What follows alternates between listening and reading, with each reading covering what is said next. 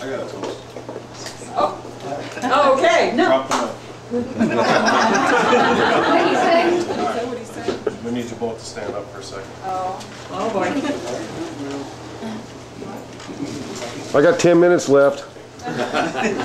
Oh, Go ahead, put your hand on the table right here. Jeff, put your hand on top. get that knife away from my son. No. this will be the last time you ever have the upper hand. Ah. in this relationship. And that's your whole marriage. But I hope you guys have a very long, loving, successful relationship. I'm sure you will, because I know you both work very hard at it. To the bride and groom. Right.